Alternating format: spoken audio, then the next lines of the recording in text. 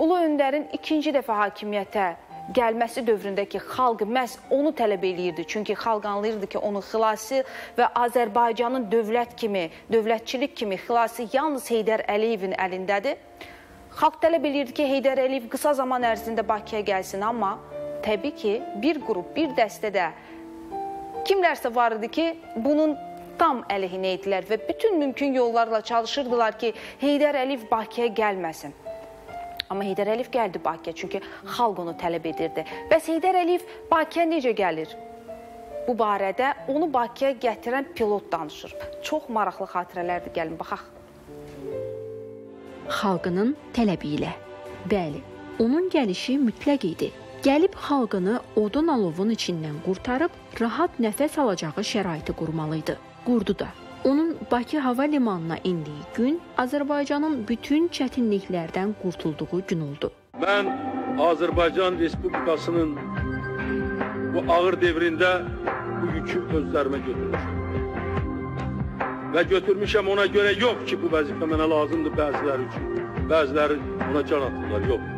Götürmüşəm ona görə ki, öz bacı qardaşlarıma, öz doğma vətənimə, doğma vətəndaşlarıma, doğma torpağıma xidmət edir. 93-cü il e, yaxşı yadımdadır.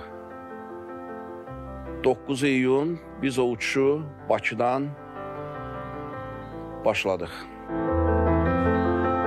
Naxçıvandan alternativ olaraq Bakıya qayıtmaq yolunu İran ərazisindən razılaşdırdım. Yəni bu Bakıdan getməmişdən öncə razılaşdırıldı. Gördüm ki, aeroportda çoxlu silahlı dəstələr gəzir. Dərhal təyyarəyə yaxınlaşdılar, suallar verdilər ki, bu nə uçaqdır, bu təyyarə nədir, nə üçün gəlmisiniz, kimi aparmaq istəyirsiniz? Biz orada bir müddət xeyli vaxt gözlədik, müəyyən təhlükəsizlik tədbirləri də planlaşdırdıq ki, bu təyyarəni necə işə salıb, necə bunu hərəkət edəcəyik ki, bizə maneçilik törədə bilməsinlər o silahlı adamlar. Və axşama yaxın nəhayət Ulu Öndər e, indiyənə qədər mənim çox yaxşı yadımdadır. Qaz 24 tipli deyilən belə bir Volga maşını ilə onu gətirdilər, e, o düşdü və qalxdı təyyarəyə.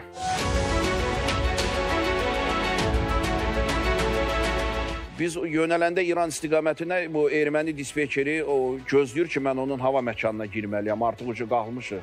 O başladı qışqırmağa ki, elə əsəbi şəkildə tələb eləməyə ki, siz hara uçursunuz, hara gedirsiniz, siz azmısınız, səhv uçursunuz, dönməlisiniz biz tərəfə, buradan keçməlidir sizin tras.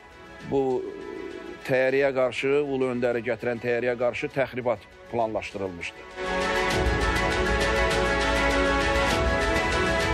Bakıya çatandan sonra, yenəndən sonra biz əvvəldən ə, hazırlanmış plana əsasən bizim təyyarə mühərriki söndürmədən uçuş zolağında dayanandan sonra, enişdən sonra e, Ulu Öndər e, təyyarədən düşüb uçuş zolağının yaxınlığında hazır vəziyyətdə onun da mühərriki çalışan helikopter vertolyotu gözləyirdi.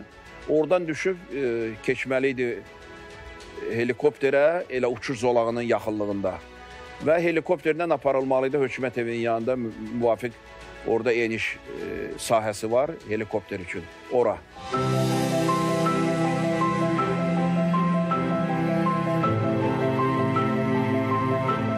Onlar bizə zamanət verdilər ki, burada qarşılayanlar var çox, gəliblər.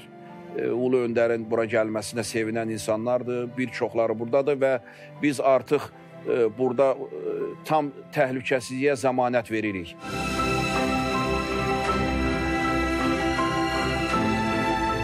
bu tarixi hadisə baş verməsəydi, bugünkü Azərbaycan adlı müstəqil dövlət olmayacaqdı. Heydər Əliyevin bu qayıdışı xalqımızın qürurunu özünə qaytardı.